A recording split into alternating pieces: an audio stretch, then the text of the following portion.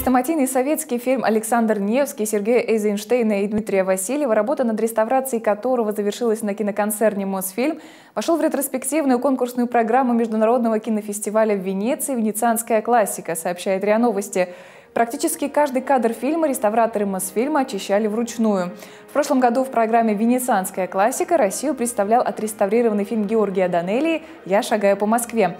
Над этой картиной работали все наши реставраторы, и практически каждый кадр они очищали вручную.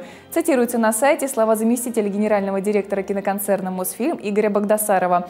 По его словам, несмотря на все сложности, специалистам Мосфильма удалось устранить все дефекты, и фильм получил новую жизнь в уже высочайшем качестве. Венецианский международный кинофестиваль впервые был проведен в 1932 году как часть Венецианской биеннале.